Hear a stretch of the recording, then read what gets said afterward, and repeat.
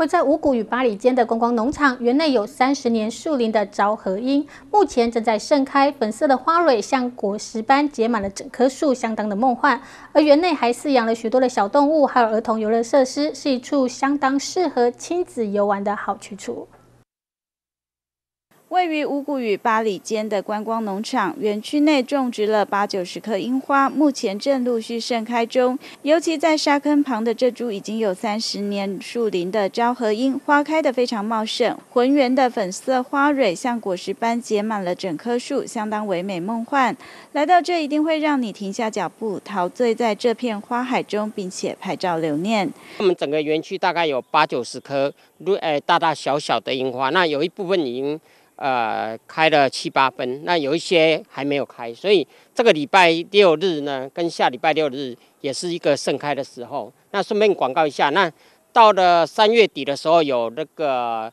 呃文旦柚花的会开，然后还有紫藤花会开，所以陆陆续续在这个户外的空间呢，那都可以来这边做一个赏花的一个活动。园内还饲养了许多小动物，走在农场中，不时还会与它们相遇。尤其最受大家喜爱的阿鹅，近来生了四只小鹅，一家子悠闲的在园区中趴趴走，模样相当可爱逗趣。另外还有山羊、兔子、黑凤鸡等小动物可以供欣赏及喂养。我们现在园区呢有饲养很多小动物哦，像我们诶黑凤鸡呀，还有称为富贵鸡，它是全部都是黑色的，还有我们的。阿鹅，它现它现在又生了四只小鹅，非常可爱，就变成阿阿鹅的 family。那还有天竺鼠啊、刺猬啊、乌龟啊，还有兔子，很可爱，都提供给小朋友跟大人可以来这边喂养。适逢樱花盛开季节，业者特别推出季节限定的樱花蜜桃鸡，用樱花树枝来串烤，使鸡肉中蕴含着淡淡的樱花香味，加上蜜桃融入一起，酸甜的口感相当独特。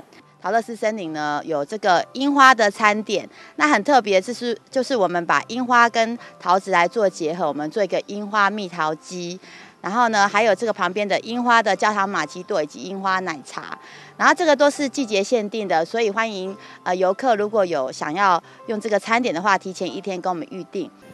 嗯，我只能说它带有一点樱花的味道，